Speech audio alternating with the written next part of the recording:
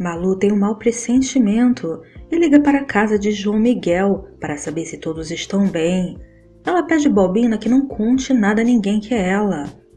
Ela comenta que hoje ela está super preocupada. Ela gostaria de saber se aconteceu algo ruim. Ela pergunta se a Tininha está bem. E Balbina responde que sim, ela está. E que Rosa fez a cirurgia e o resultado ficou bom.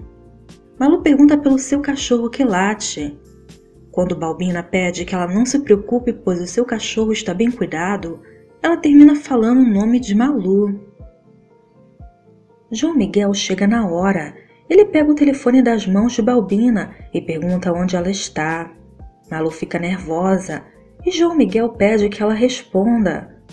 Malu demora para responder, mas finalmente responde que não quer falar com ele. Ele precisa saber onde ela está, para onde ela foi. Ela não pode dizer. E por acaso isso o interessa? Ele pede que ela não diga isso, pois é claro que lhe interessa o que pode acontecer com ela. E porque ela quis ir embora da vila. Não tem necessidade que ela fuja dele. Ela disse muitas vezes que não quer saber dele e ele respeita essa decisão, apesar de não aprovar isso. Mas ela sabe que ele nunca seria capaz de lhe fazer nenhum mal. Ela sabe muito bem que ele nunca faria. Malu diz que agora ele vai dizer até que ele a ama, com certeza. João Miguel então confirma: Sim, eu te amo muito. Ela quer que ele conte outra piada, mas João Miguel está falando sério. Sua vida tomou outro rumo com a volta de Viviana. Malu interrompe e diz que só ligou por causa de Tininha, pois não gosta que fique enrolando como sempre ele fazia. Ela não quer que ele se preocupe com ela. Ela garante que está super bem. Malu desliga o telefone e depois ela diz consigo que João Miguel nunca saberá que ela se arrepiou e até chorou. Enquanto isso, João Miguel pergunta a Balbina o que Malu conversou com ela e se perguntou por ele. Balbina responde que só perguntou por Tininha, Rosa e seu cachorro, pois estava começando a conversa. João Miguel sente muito que o telefone não tem identificador de chamadas. Depois, Candelária tenta animar Malu, mas ela continua impressionada com o mau pressentimento. Malu percebe que está sendo observada e se assusta. Patrícia e Stefânia saem para jantar sozinhos, pois Cecília se recusou a acompanhá-los. No restaurante, eles encontram João Miguel com a francesa. João Miguel oferece que sentem juntos e pergunta o que eles querem beber.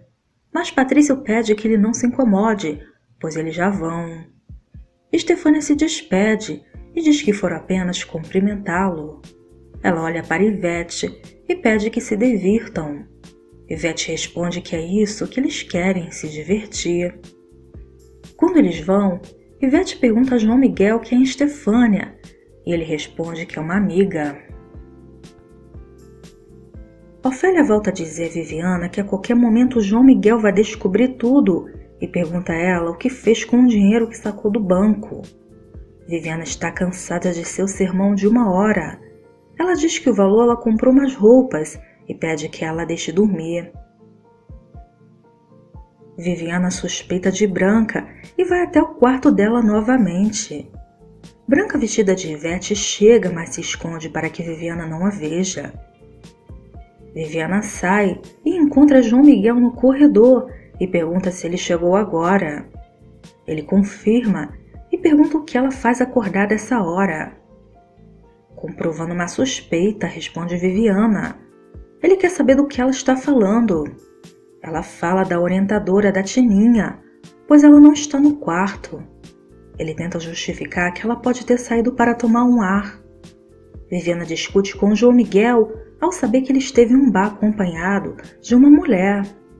Nessa hora, Branca abre a porta e pergunta o que aconteceu e se tem algum problema. Viviana fica surpresa.